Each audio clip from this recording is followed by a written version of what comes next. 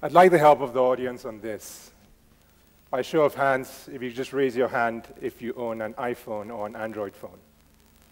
Don't be afraid. And raise your hand if you own an iPad. If you own a laptop. Uh, if you have broadband in your home. If you raise your hand, you're in Africa 1. The 15% of Africa that shops in places like this, the Accra Mall in Ghana. I'm going to talk about Africa 2, that shops in places like this, Oshodi Market in Lagos.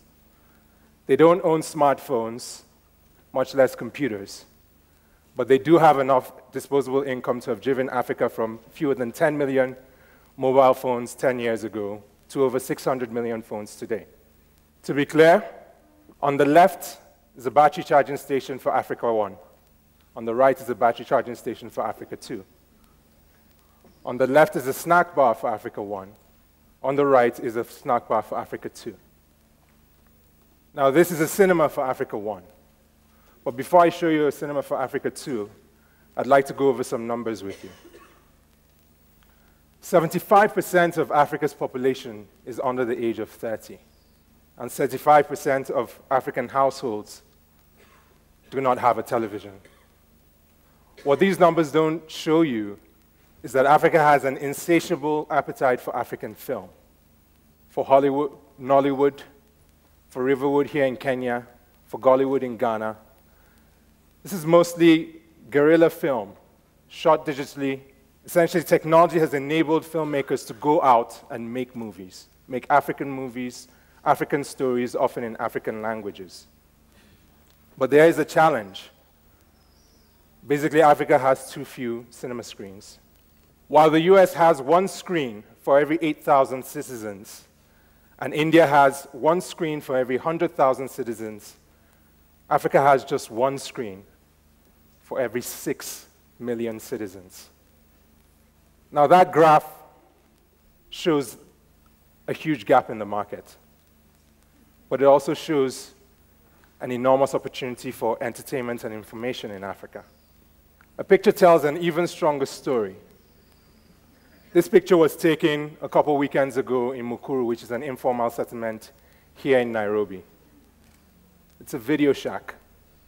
In this video shack, the same scene is replicated millions of times across Africa. 200 people in a dark, airless room gathered around a 19 inch TV watching a Rapley. We thought there should be a better way. The video shacks have a couple of challenges. Number one, they don't scale. Two, they don't take advantage of the explosion in advertising in Africa over the last decade. And three, and perhaps most importantly, they don't pay filmmakers. What we wanted to do was create a sustainable ecosystem for African filmmakers, and at the same time, create more options for Africa 2 give them a broader range of compelling content, give them a 20-foot screen instead of a 19-inch TV, give them good sound, comfortable seats, a safe environment, and all at the price of a bottle of Coke. Now, over the last three years, we've run about 30 pilots in Kenya and Nigeria, and we've learned a lot through that process. We've validated the fact that there's enormous demand for African film. But we've also learned some interesting things.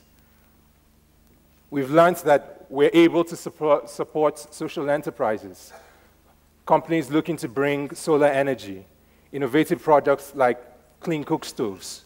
We're able to use our screens to demonstrate to Africa 2 why these products matter and persuade people to use them. Now, I'd like to end with this man, Ousmane Sembene. He's known as the father of African film. Ousmane Sembene is a Senegalese writer who 50 years ago realized that he probably would make more of an impact on the masses of Africa making movies than writing novels that only a small elite would read. Sadly, Ousmane Sembene did not live to see this vision. But it is our hope that through this platform, we will realize Ousmane Sembene's vision. Because creating a platform for African filmmakers to deliver African stories to African audiences is revolutionary. Thank you.